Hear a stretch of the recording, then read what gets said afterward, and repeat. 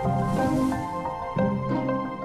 Ущерб от группы черных лесорубов превысил порядка 62 миллионов рублей. Такие данные приводят представители регионального управления МВД по Пермскому краю по итогам расследования уголовного дела. Э, о том, какие меры сегодня присутствуют по регулированию лесного бизнеса в регионе, мы поговорим с нашим гостем в студии РБК Пермь, начальник управления охраны, защиты и надзора Министерства природных ресурсов, лесного хозяйства и экологии Пермского края Михаил Никитин. Михаил, я вас приветствую.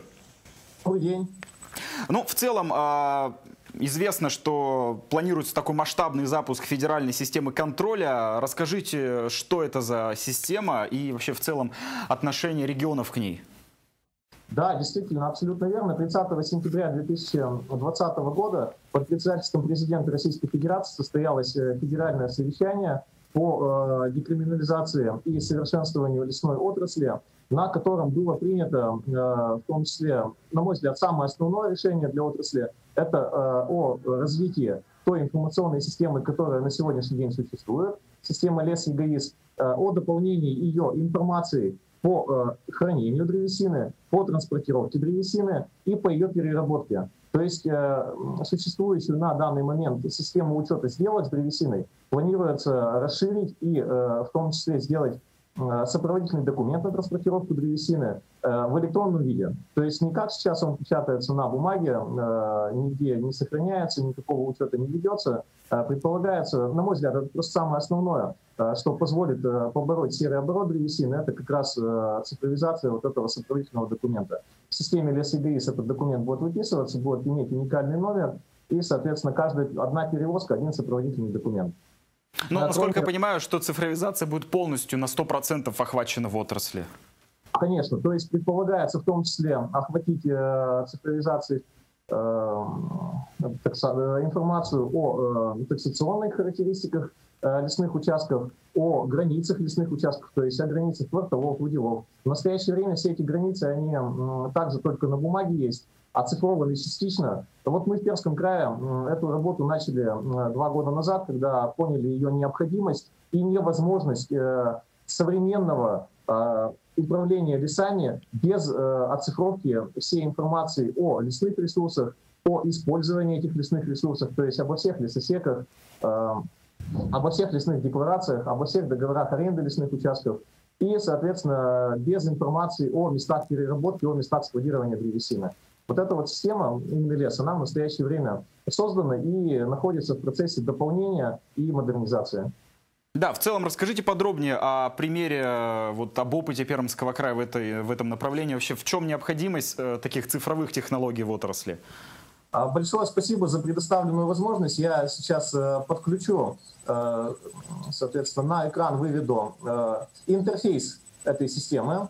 То есть, э, по большому счету, достаточно в поисковом э, окне браузера набрать «умный лес», э, соответственно, там высвечивается ссылка на используемую нами систему.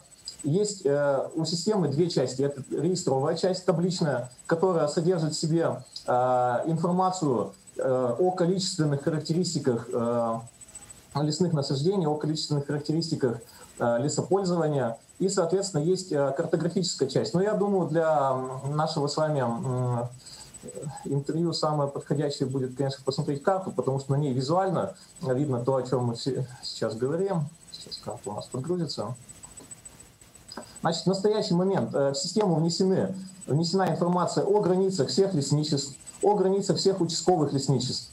Э, кроме того, по больше чем половине лесничеств Пермского края Э, внесена информация э, по границам выделов и кварталов. То есть э, выдела это у нас является конечной единицей лесной таксации, и мы можем, мы можем анализировать эту информацию, то есть сейчас вот, ну, давайте посмотрим на примере лесничества, приближаем. Вот у нас появилась квартальная сетка, Ну, до недавнего времени о таком можно было только мечтать. То есть для того, чтобы определить, где находится тот или иной участок, приходилось брать бумажный планшет, который хранятся у нас, соответственно, в лесничествах. А, для того, чтобы выдел определить, было еще тяжелее. Вот, а сейчас у нас здесь под рукой мы в любое время, хоть в режиме дистанционной работы, хоть из дома, хоть с рабочего места, можем всю эту информацию получать и обрабатывать. Я полагаю, это карты э, со спутника и в целом э, расскажите о возможностях, которые можно по, по этой карте определить, помимо тех, которые вы уже обозначили. Да, конечно. Ну вот давайте, самое больше всего мне такая функция на этой карте интересно. И я думаю, она для всех э, и лесопользователей любопытна. То есть это распределение лесов по породам и группам возраста. Это основная карта, которая используется в лесопользовании. То есть здесь э, цветом различаются породы, и интенсивностью цвета различается их возраст. То есть достаточно просто можно определить участки, которые подлежат рубке. То есть вот оранжевым цветом у нас сосновые насаждения, в которых сосна преобладает отмеченная. Что касается спутниковых снимков, то в первую очередь, конечно, спутниковые снимки, они применяются для э, выявления и пресечения нарушений лесного законодательства. В Пермском крае э, впервые в Российской Федерации спутниковые снимки стали использоваться не только для выявления, но еще и для доказывания поскольку по спутниковым снимкам вот тот, э, э, ту ситуацию, то уголовное дело, которое вы упомянули в самом начале выступления, а именно незаконные руки в Красноишевском лесничестве, в Аксимском участковом лесничестве, они как раз нами были выявлены при помощи спутниковых снимков, при помощи дистанционного мониторинга. Вот в настоящее время, если говорить про э, всю территорию Пермского края, у нас в 2020 году также впервые за все время охвачена вся территория края дистанционным мониторингом. То есть э, все земли лесного фонда площадью 12 миллионов гектаров на территории Пермского края в 2020 году. Э, спутниковые снимки по ним исследуются. Те изменения, которые выявляются, э, сравниваются с легальным лесопользованием, и информация о нарушениях поступает нам. Вот этот дистанционный мониторинг, вся территория края, она охвачена пока что в ручном режиме. Но на будущий год мы планируем вот в этой вот системе «Умный лес» подключить как раз модуль автоматического распознавания вот этих вот рубок. Вот сейчас я покажу, у нас э, в этом году часть лесничеств было в пилотном проекте, э, и в системе «Умный лес» как раз уже эта информация у нас хранится, вырубки по данным автоматического дешифрирования. Сейчас мы также на большой карте сможем это увидеть. Э, здесь, значит, алгоритм такой же точно. Берется два разновременных спутниковых снимка, но их сравнивает не человек, их сравнивает э, искусственный интеллект, нейросеть, которая не только обозначает, где были изменения, но и обрисовывает контур и сама же одновременно определяет местоположение этого участка. То есть на выходе после анализа мы получаем э, таблицу с э, указанием мест, где произошли изменения лесного фонда. Тут же одновременно есть возможность это все вывести на карту, к сожалению, пока нет возможности а, проанализировать также автоматически и разделить легальное и нелегальное использование лесов. Это связано с тем, что а, в настоящее время в систему, к сожалению, очень мало арендаторов вносит информацию о своих лесосеках. То есть частично лесничество вносит, частично мы стараемся вносить эту информацию как Минприрода. Но пока еще не вся информация в системе о лесосеках содержится. Но информация о местах рубки по тем пилотным лесничествам она есть, и вот сейчас мы сможем увидеть, к примеру, красными контурами, как у нас обозначаются эти участки. Вот. Предлагаю поговорить в целом о необходимости такой карты. Уже два года, как вы сказали, она работает. Есть ли какие-то промежуточные уже э, итоги ее работы и показала ли она свою эффективность? Да, дело, э, конечно, система сама, она свою эффективность э, показала, и мы видим э, те направления, в которых ее необходимо развивать, но если говорить о количественных показателях, которые мы по незаконной руке фиксируем, то за 2020 год у нас было выявлено по состоянию на Э, текущий момент 295 случаев незаконной рубки с общим объемом э, срубленной древесины 8,6 тысяч кубических метров. Для примера, в 2019 году э, было незаконно срублено 29,8 тысяч кубометров. То есть фактически у нас более чем в 4 раза уменьшился объем незаконной заготовки. И в первую очередь мы, конечно, это связываем с применением современных цифровых технологий, а именно с охватом всей территории края дистанционным мониторингом. Это так называемый профилактический эффект, то есть мы широко осветили Э, вот этот охват стопроцентный. И, соответственно, у нарушителей намного меньше уже мотивации заходить в лес, понимая, что э, в 100% случаев все э, превышения площади, все площади, которые без документов вырубаются, они все будут мониторингом выявлены.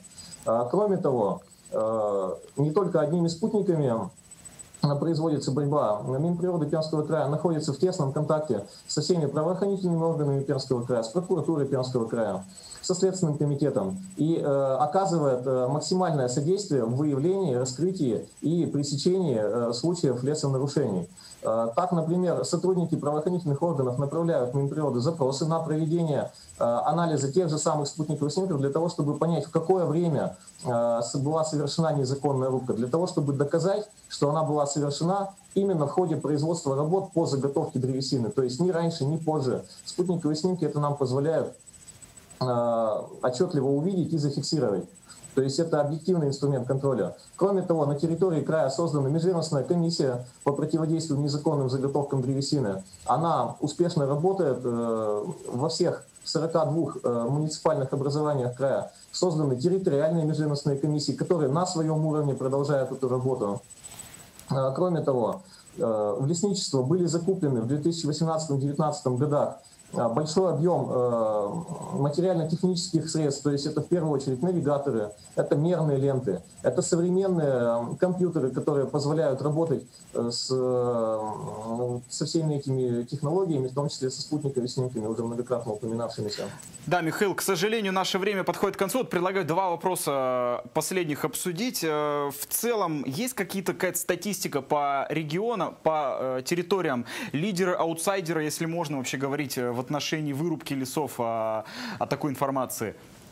Да, такая статистика у нас ведется. Давайте вот э, сначала общие цифры озвучу. То есть если э, брать, к примеру, с 2012 годом, когда у нас э, фиксировалось наибольшее число случаев незаконной заготовки, в 2012 году было зафиксировано 1052 случая общим объемом 58 тысяч кубометров.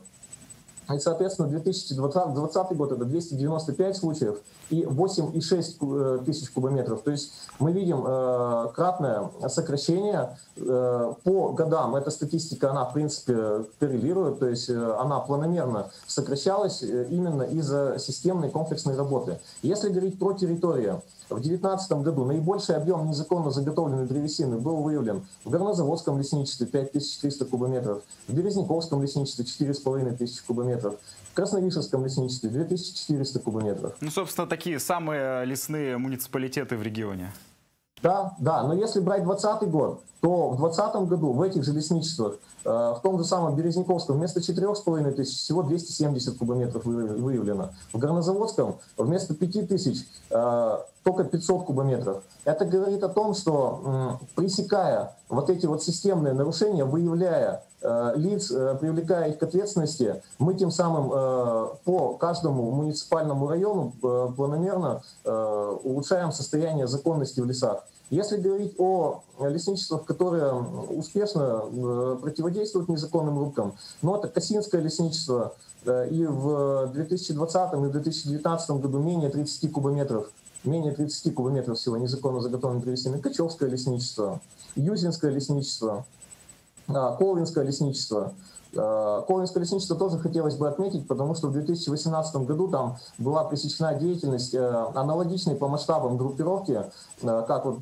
Красновишевский сейчас, которая также осуществляла незаконную заготовку древесины. И после этого объем незаконной заготовки вот по Колве в 2020 году всего 4 кубометра.